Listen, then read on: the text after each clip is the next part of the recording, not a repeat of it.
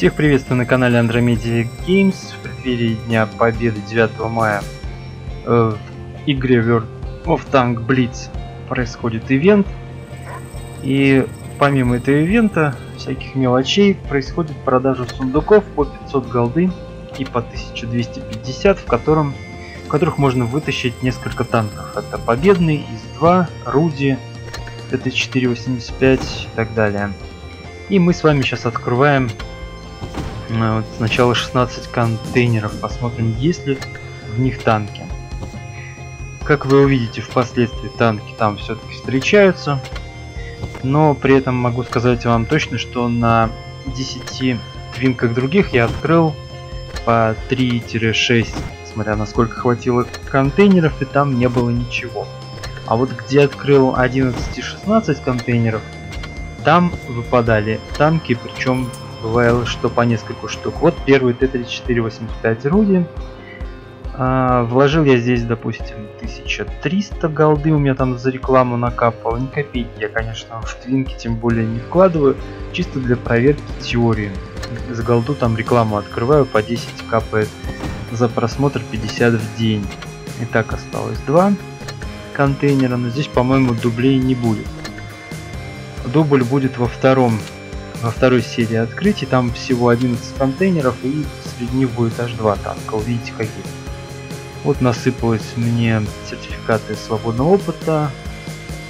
Кучка сертификатов на час, на 9, по-моему, тоже выпадала премиального аккаунта. В принципе, у кого накопилась голда, можно попробовать. Хотя, черт его знает. Вот на основе открыл 6 сундуков, и это как в лужу пернул, как говорится, ничего там не выпало абсолютно. Вот. А на пустых аккаунтах я видел у блогеров наших известных вододелов, даже на твинках с двумя боями падали танки, а то и по два с трех сундуков. Вот, ну такого трудика я взял, как сейчас сможете увидеть, это праздничный ангар который в лесу и напоминает вот он, ангар из танков больших. Вот 11 контейнеров на еще одном аккаунте. По-моему, это евросервер. И здесь, по-моему, с третьего сундука уже выпадет арбузный, так называемый, в простонародье. Это Т-34-85, по-моему, победный. Где-то вот он скоро появится, мне так кажется мистика. Если б знать, столько голды потрачено. Ну, в принципе, оно окупается. Если 500 выкинул, ничего не вытащил, кроме мелочевки типа сертификатов. Вот он арбузный. Так его назвали за расцветку. Камуфляж здесь поменять нельзя, он вот такой. Он неплохо фармит, неплохо играется для своего уровня, конечно. Вот. Но прикол в том, что с 11 сундуков, смотрите, что еще выпадет. Так, о чем это я? И вот что интересно, у меня уже такой интерес был, хотелось на из... Э, вот еще один арбузный с 11 сундуков.